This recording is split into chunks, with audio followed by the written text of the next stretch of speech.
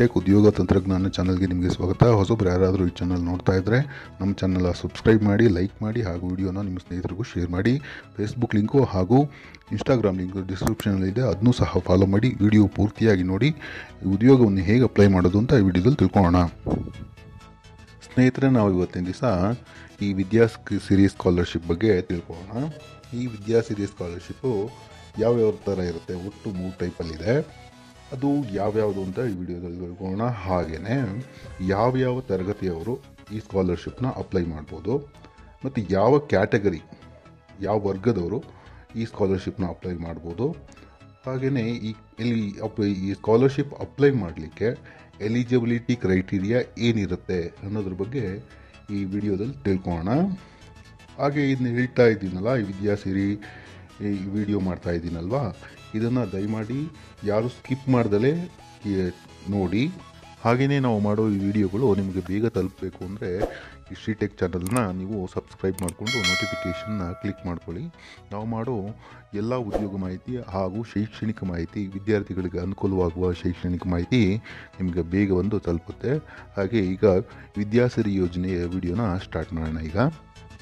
ಈ ವಿದ್ಯಾಸಿರಿ ಯೋಜನೆಯ ಉದ್ದೇಶ ಏನಪ್ಪ ಅಂದರೆ ಯಾವುದೇ ಇಲಾಖೆ ಸರ್ಕಾರಿ ಅಥವಾ ಸರ್ಕಾರಿ ಅನುದಾನಿತ ವಿದ್ಯಾರ್ಥಿ ನಿಲಯ ಹಾಗೆ ವಸತಿ ಕಾಲೇಜುಗಳಲ್ಲಿ ಪ್ರವೇಶ ದೊರೆಯದ ಹಾಗೂ ಮೆಟ್ರಿಕ್ ನಂತರದ ಕೋರ್ಸ್ಗಳಲ್ಲಿ ವ್ಯಾಸಂಗ ಮಾಡುವ ಹಿಂದುಳಿದ ವರ್ಗಗಳ ವಿದ್ಯಾರ್ಥಿಗಳಿಗೆ ಊಟ ಮತ್ತು ವಸತಿ ಸಹಾಯವನ್ನು ಒದಗಿಸುವುದು ಈ ಯೋಜನೆಯ ಉದ್ದೇಶ ಆಗಿದೆ. ಹಾಗೆ ಈ ಯೋಜನೆಯಡಿ ಆಯ್ಕೆಯಾಗುವ ವಿದ್ಯಾರ್ಥಿಗಳಿಗೆ ಪ್ರತಿ ತಿಂಗಳಿಗೆ ಒಂದೂವರೆ ಸಾವಿರದ ರೂಪಾಯಿಯಂತೆ ಪ್ರತಿ ಶೈಕ್ಷಣಿಕ ಅವಧಿ ಹತ್ತು ತಿಂಗಳಿಗೆ ಹದಿನೈದು ಸಾವಿರ ರೂಪಾಯಿ ಸಹಾಯಧನವನ್ನು ಇದರಲ್ಲಿ ಕೊಡ್ತಾ ಇದ್ದಾರೆ. ಇದು ನೇರವಾಗಿ ಬ್ಯಾಂಕ್ಗೆ ಕೊಡ್ತಾ ಇದ್ದಾರೆ. ವಿದ್ಯಾರ್ಥಿಗೆ ನೇರವಾಗಿ ಬ್ಯಾಂಕ್ಗೆ ಜಮೆ ಆಗುತ್ತೆ. ಇದರಲ್ಲಿ ಮೂರು ಥರ ವಿದ್ಯಾ ವಿದ್ಯಾರ್ಥಿ ವೇತನ ಇದೆ. ವಿದ್ಯಾರ್ಥಿ ನಿಲಯ ಪ್ರವೇಶ ಒಂದನೇದು ಎರಡನೇದು ಊಟ ಮತ್ತು ವಸತಿ ಸಹಾಯ ಯೋಜನೆ, ಮತ್ತು ಮೂರನೇದು ಮೆಟ್ರಿಕ್ ನಂತರದ ವಿದ್ಯಾರ್ಥಿ ವೇತನ. ಅಂದರೆ ವಿದ್ಯಾರ್ಥಿ ನಿಲಯ ಪ್ರವೇಶ ಅಂತ ಹೇಳಿದ್ರೆ, ವಿದ್ಯಾರ್ಥಿಯು ಈಗ ಯಾವುದೇ ವಿದ್ಯಾರ್ಥಿ ನಿಲಯದ, ನಿಲಯದಲ್ಲಿ ಪ್ರವೇಶ ಅಂದರೆ, ಇದನ್ನ ಅಡ್ಮಿಷನ್ ಆಗಿದ್ದು, ಅಲ್ಲಿ ಯಾವುದೇ ರೀತಿಯ ಮೂಲಸೌಕರ್ಯ ಇಲ್ಲ ಇಲ್ಲದಲ್ಲೇ ಇರೋ ಇದಕ್ಕೋಸ್ಕರ ಇದನ್ನು ಅಪ್ಲೈ ಮಾಡ್ಬೋದಾಗಿದೆ. ಮತ್ತು ಊಟ ಮತ್ತು ವಸತಿ ಸಹಾಯ ಯೋಜನೆ ಅಂತೇಳಿ ಇದು ಯಾವುದೇ ವಿದ್ಯಾರ್ಥಿ ಕಾಲೇಜ್ಗೆ ಈಗ ಅಡ್ಮಿಷನ್ ಆಗಿದ್ದು ವಿದ್ಯಾರ್ಥಿ ನಿಲಯ ಸಿಗದೇ ಇದ್ದಾಗ ಇದನ್ನು ಅಪ್ಲೈ ಮಾಡ್ಕೋಬೋದಾಗಿದೆ. ಮತ್ತು ಮೆಟ್ರಿಕ್ ನಂತರದ ವಿದ್ಯಾರ್ಥಿ ವೇತನ ಅಂದರೆ ಈ ಎಸ್ ಎಸ್ ಎಲ್ ಸಿ ಮುಗಿಸಿ ಪಿ ಯು ಸಿಗೆ ಹೋದಾಗ ಅಲ್ಲಿ ಅಡ್ಮಿಷನ್ ಇದು ಎಸ್ ಎಲ್ ಸಿ ಮುಗಿಸಿ ಪಿ ಯು ಸಿಗೆ ಹೋದಾಗ ಅಪ್ಲೈ ಮಾಡ್ಬೋದಾಗಿರೋದಂಥ ಮೂರನೇ, ಇದರಲ್ಲಿ ಯಾವುದಾದ್ರೂ ಒಂದು ಸೌಲಭ್ಯವನ್ನು ಮಾತ್ರ ಅರ್ಹತೆ, ಅರ್ಹ- ಆಯ್ಕೆ ಮಾಡ್ಕೋಬೋದು ವಿದ್ಯಾರ್ಥಿ. ಈ ವಿದ್ಯಾರ್ಥಿ ವೇತನ ಪಡ್ಕೊಳೋದಕ್ಕೆ ಅರ್ಹತೆ ಏನೇನಿರಬೇಕಪ್ಪ ಅಂದರೆ ಈ ವಿದ್ಯಾರ್ಥಿ ವೇತನಕ್ಕೆ ಮೊದಲು ಭಾರತೀಯ ಪ್ರಜೆಯಾಗಿರಬೇಕು ಕರ್ನಾಟಕದಲ್ಲಿ ಕಾಯಂ ನಿವಾಸಿಯೇ ಆಗಿರಬೇಕು ವಿದ್ಯಾರ್ಥಿ, ಮತ್ತು ಭಾರತ ಸರ್ಕಾರದ ಅಥವಾ ರಾಜ್ಯ ಸರ್ಕಾರದ ಅಧಿಸೂಚಿಸಿರುವ ಇತರ ಹಿಂದುಳಿದ ವರ್ಗಗಳ ಪಟ್ಟಿಯಲ್ಲಿ ನಿಮ್ಮ ಜಾತಿ ಸೇರಿರಬೇಕು, ಹಿಂದುಳಿದ ವರ್ಗ, ವರ್ಗಗಳಿಗೆ ಸೇರಿರಬೇಕು ತಮ್ಮ, ನಿಮ್ಮ ಜಾತಿಗಳು. ಹಾಗೆ ಕರ್ನಾಟಕ ಶಾಸನಬದ್ಧ ವಿಶ್ವವಿದ್ಯಾಲಯಗಳ ಅಧೀನಕ್ಕೆ ಒಳಪಡುವ ಸರ್ಕಾರಿ ಸ್ಥಳೀಯ ಸಂಸ್ಥೆ, ಅನುದಾನಿತ ಸಂಸ್ಥೆಗಳು ಮಾನ್ಯತೆ ಪಡೆದಿರುವ ಅನುದಾನ ರಹಿತ ಖಾಸಗಿ ಸಂಸ್ಥೆಗಳಲ್ಲಿ ಮೆಟ್ರಿಕ್ ನಂತರದ ಕೋರ್ಸ್ಗಳಲ್ಲಿ ವ್ಯಾಸಂಗ ಮಾಡುತ್ತಿರುವ ವಿದ್ಯಾರ್ಥಿಗಳಾಗಿರಬೇಕು. ಹಾಗೆ ಈ ಮೇಲಿನ ಸೌಲಭ್ಯ ಪಡೆಯೋದಕ್ಕೆ ತಂದೆ ತಾಯಿಗಳ ಕುಟುಂಬ ವಾರ್ಷಿಕ ವರಮಾನ ಹೇಗಿರಬೇಕಂದ್ರೆ ಪ್ರವರ್ಗ ಒಂದು. ಈ ವರ್ಗಕ್ಕೆ ಸೇರಿದ ವಿದ್ಯಾರ್ಥಿಗಳು ಅವರ ಕುಟುಂಬದ ಆದಾಯ ಎರಡೂವರೆ ಲಕ್ಷಕ್ಕೆ ಮೀರಿರಬಾರ್ದು. ಹಾಗೆ ಪ್ರವರ್ಗ ಎರಡು, ಮತ್ತು ಮೂರು ಎ, ಮತ್ತು ಮೂರು ಬಿ, ಈ ವಿದ್ಯಾರ್ಥಿ, ಈ ಜಾತಿಗಳಿಗೆ ಸೇರಿದ ವಿದ್ಯಾರ್ಥಿಗಳಿಗೆ ಅವರ ಕುಟುಂಬದ ವಾರ್ಷಿಕ ವರಮಾನ ಒಂದು ಲಕ್ಷ ಮೀರಿರಬಾರ್ದು. ಹಾಗೆ ವಿದ್ಯಾರ್ಥಿಗಳು ಗ್ರಾಮೀಣ ಗ್ರಾಮೀಣ ಪ್ರದೇಶದ ವಾಸಿಯಾಗಿರಬೇಕು. ಹಾಗೆ ತಮ್ಮ ಕಾಲೇಜು ತಮ್ಮ ಗ್ರಾಮದಿಂದ ಐದು ಕನಿಷ್ಠ ಐದು ಕಿಲೋಮೀಟರ್ ದೂರನಾದರೂ ಇರಬೇಕು. ಆದರೆ ಕೆಲವು ವಿದ್ಯಾರ್ಥಿಗಳಿಗೆ ನಗರ ಪ್ರದೇಶಗಳಲ್ಲಿ ಸ್ವ, ಸ್ವ- ಸ್ವಂತ ಮನೆ ಇರುತ್ತೆ. ಅವರು ಬೇರೆ ನಗರ ಪ್ರದೇಶಕ್ಕೆ ಹೋಗಿ ಕಾಲೇಜು ವ್ಯಾಸಂಗ ಮಾಡ್ತಿರ್ತಾರೆ. ಅಂಥವರು ಸಹ ಈ ಈ ಅರ್ಜಿಗಳನ್ನು ಸಲ್ಲಿಸ್ಬೋದು. ಅಂದರೆ ಈ ಯೋಜನೆಯಲ್ಲಿ ಪ್ರಥಮ ಬಾರಿಗೆ ಅಂದರೆ ವಿದ್ಯಾಸರಿ ಈಗ ನಾವು ಫಸ್ಟ್ ಟೈಮ್ ಇದು ಮಾಡ್ತಿದ್ದೀವಿ ಅಂದರೆ ಹಿಂದಿನ ವರ್ಷ ಓದಿರ್ತೀರಲ್ಲ ಅದರದ್ದು ಮಾರ್ಕ್ಸು ಪ್ರವರ್ಗ ಒಂದಕ್ಕೆ ಫಾರ್ಟಿ ಪರ್ಸೆಂಟ್ ಆಗಿರಬೇಕು. ಪ್ರವರ್ಗ ಎರಡು ಎ, ಎರಡು ಮತ್ತು ಮೂರು ಎ, ಮೂರು ಬಿಗೆ ಫಿಫ್ಟಿ ಪರ್ಸೆಂಟ್ ನೀವು ಕನಿಷ್ಠ ಅಂಕಗಳನ್ನ ಪಡೆದಿರಬೇಕಾಗತ್ತೆ. ಮತ್ತು ಈಗ ಈಗಾಗಲೇ ಅಪ್ಲೈ ಮಾಡಿದ್ದೀವಿ.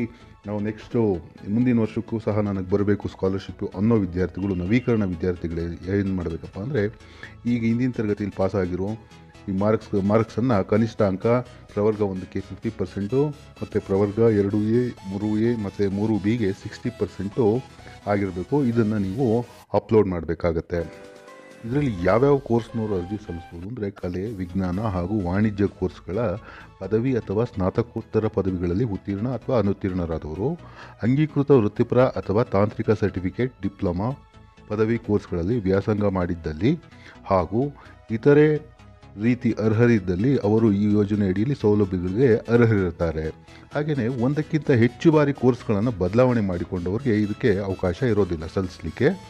ಹಾಗೆ ಒಂದೇ ಕುಟುಂಬದ ಇಬ್ಬರು ಗಂಡು ಮಕ್ಕಳಿಗೆ ಮಾತ್ರ ಈ ಯೋಜನೆಯಲ್ಲಿ ಅರ್ಹರ ಇನ್ನು ಫಲಾನುಭವಿಗಳನ್ನ ಪಡ್ಕೋಬೋದು. ಫಲಗಳು ಇದನ್ನು ವಿದ್ಯಾರ್ಥಿ ವೇತನಕ್ಕೆ ಅರ್ಜಿಯನ್ನು ಸಲ್ಲಿಸ್ಬೋದು.